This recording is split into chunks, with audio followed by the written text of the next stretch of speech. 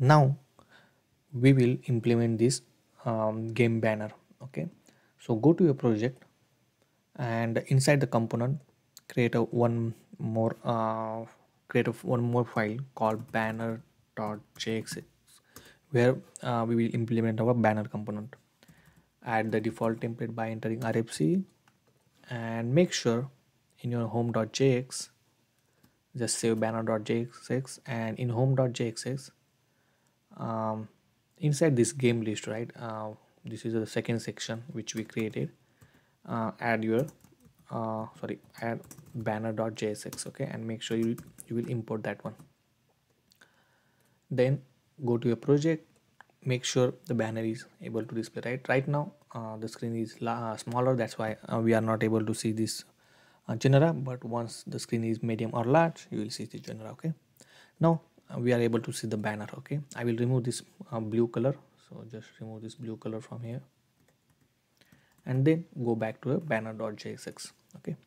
Now right now in this component we don't have any data correct? So that and and, and in home.js we have this all game list correct? So what we have to do we have to pass the uh, this particular game list so here right now we are just showing the only one game right? So we will only pass the uh, first element of this uh, banner list. So just type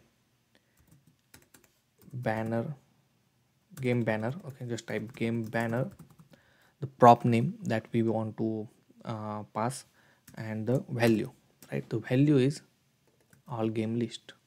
Okay and we want to pass first element. Okay so in this case if you see right the whatever the value we want to pass you have to write in this component in this way okay? And then in banner dot, um, banner component you have to accept that props okay? So here i will say banner okay sorry uh, what is the name? So it's game banner right? So you will accept that props here okay? And save it.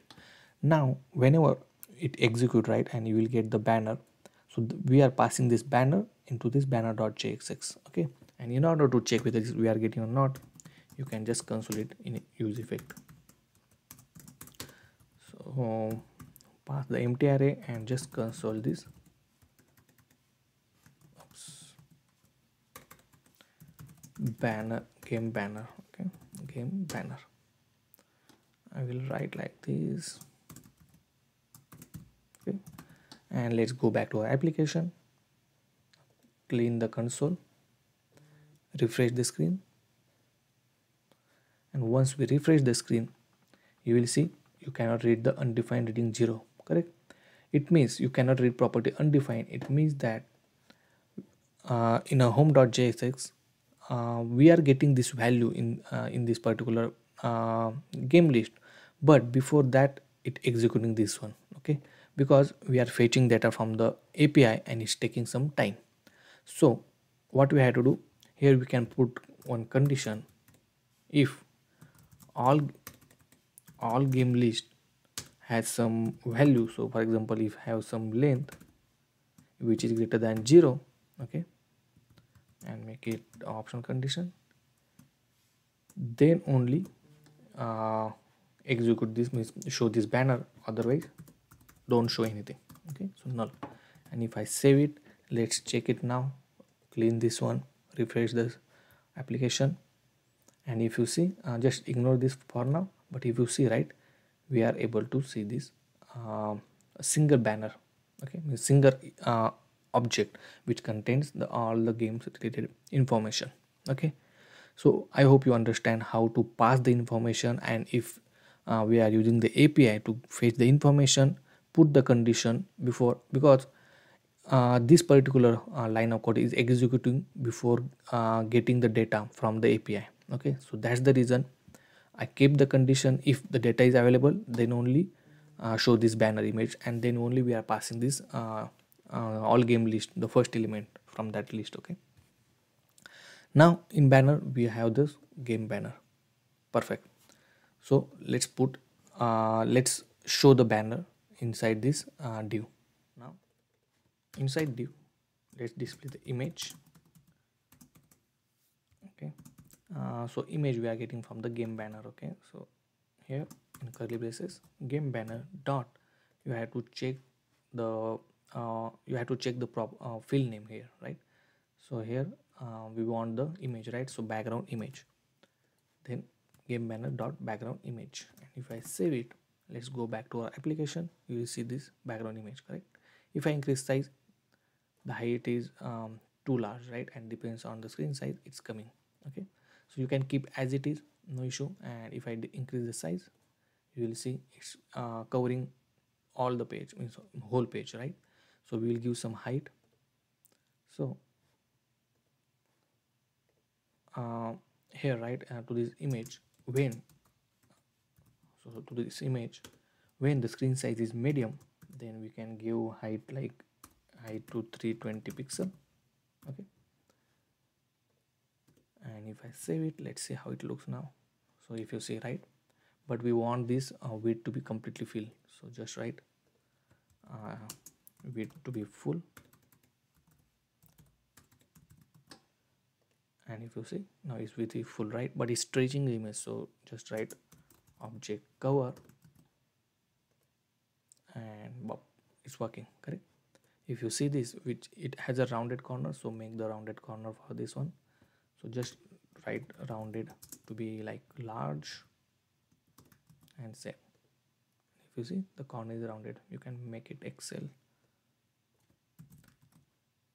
Okay. And if i uh, decrease the screen size if you see right it's changing completely fine. Okay. So on very small screen uh, still uh, the width is not correctly but depends on your you can test it and you can, then you can check it okay? Next uh, if you see right we want to write this text over this uh, particular image okay? So about this uh, image you um, create one div okay? And inside div i will write h2 tag and in the in this h2 tag we want to display the uh, name of the game. Okay. So in this tag we have write game banner dot. We have to find the field name for the title of the game. So go to the console. Here we have if you expand this one right we have the name tag right? So game banner dot name. And if i save it it will come at the top right? So and then also we have button. So let me add button as well along with this. Button get now. Okay. Save it. Uh, we have go to style and everything. You see button is coming. So let's uh, add some style to this uh, title of the game. So here let me add class name and uh, text of 24 pixel. Then I will add text white and font to be bold okay? If you see yeah it's working right? Right now uh, text is white so it's not showing. But if I change this to black theme we will be able to see this right? And I will also change this get now. So add the styling to the get now button. So class name I will make the background blue to 700 and then text to be white padding x to 2 padding y to 1 or just padding 1 okay. If you see button is coming. Perfect. Now we want to put this on the top of this image correct? So you have to make this div to be of absolute. So make it absolute and let's say after that how it looks. So it's coming here right? So we want it the bottom. So just type bottom 0 okay? And let's see how it looks. So it's coming at the top so uh, right now because it's considering this particular screen as um, and it putting bottom of that particular uh, layout right? So we want only for this image. So you have to make uh, div to be a relative okay? So make this uh, div to be relative and save it. If you see it's coming inside now uh, you can do some um, what say? Uh, from padding from all sides. So I will use some padding here. So padding 5 and then um, we want to use some gradient effect right? So we are getting here but if you see we have some gradient effect here right? So we will add that one as well so in order to add the gradient right uh, if you go to the tailwind css tailwind css gradient